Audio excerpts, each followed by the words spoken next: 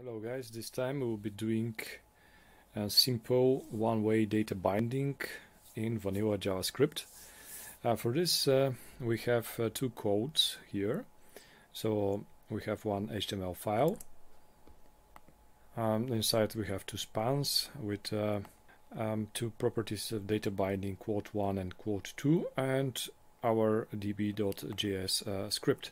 Inside of this script we'll see how we can change dynamically uh, this inner HTML text inside of those uh, uh, two span elements using the so-called uh, one-way data binding. Why it's called one-way? Because we are changing programmatically uh, from the properties here in JavaScript uh, the state of the DOM element or HTML element here. Let's see how we can do this. Actually, first we have one a function called render, which accepts a property as a parameter. And uh, with uh, document query selector, we are just selecting uh, uh those uh, elements from the document object model, which has this property, which is passed as a parameter in their data binding. So if we pass quote 1, we'll select the first element. If we pass quote 2, we'll select the second element and uh, based on the selection they will change uh, their inner HTML and uh, for this uh, we'll use a special uh, state object. And from this object we'll grab its passed again as a parameter property. And now to the very special set state function.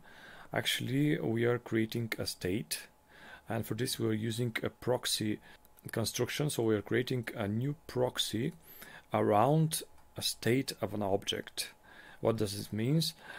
If we have a certain uh, property and uh, we would like to change the property and to set it to a certain value, this uh, proxy object will invoke in itself and uh, will uh, perform uh, the following actions that we want to supply.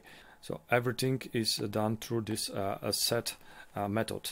Uh, also, we can capture the get method, and this way we can modify the object or display something to the screen whenever a user is uh, trying to read from our object. Basically, we do two things. Uh, the first thing is uh, actually to set the object value to the passed parameter and the second is to use the previous function here render in order to change the data in our document object model. Um, let's see the whole following code in action. So we can set an initial state and we can log it on the screen. If we refresh we see that around our state we have an uh, proxy and the initial state of quote 1 is initial uh, quote state Alright, so when we have this initial uh, state, we can for now leave it empty. And if we refresh, we see that uh, the quote 1 and quote 2 uh, keep their initial states in the uh, document object model.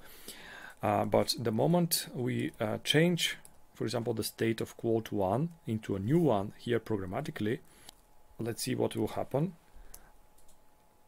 We see the one-way binding in action let's see what happened actually.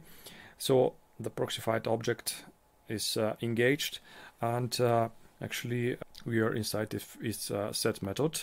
Uh, first we are setting uh, the property of the object to what has been passed and second we are modifying via the render function the document object model corresponding data binding element. The same can be done for the second uh, quote uh, state object. So both of them will have a new state. And this is very useful um, technique and usage of the proxy pattern because we can change dynamically um, our code via programming and uh, automatically the proxy object will uh, change those bindings inside of our HTML so we don't need all the time to uh, query certain elements and change their uh, properties. So that's it guys. I hope you enjoyed the information and you can actually subscribe to the channel.